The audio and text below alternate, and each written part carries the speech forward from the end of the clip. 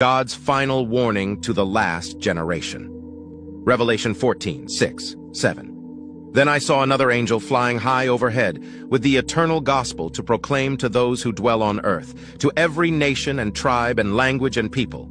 And he said in a loud voice, Fear God and give him glory, for the hour of his judgment has come, and worship him who made heaven and earth, the sea and the springs of water. God calls people to repent of their sins and turn to him. He promises to forgive those who repent and believe in Jesus Christ. God calls people to have faith in Jesus Christ.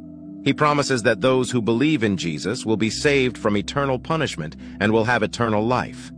Judgment is coming for those who do not repent and believe in Jesus Christ. He says that they will be thrown into hell, where they will suffer eternal torment. Revelation 21, 8.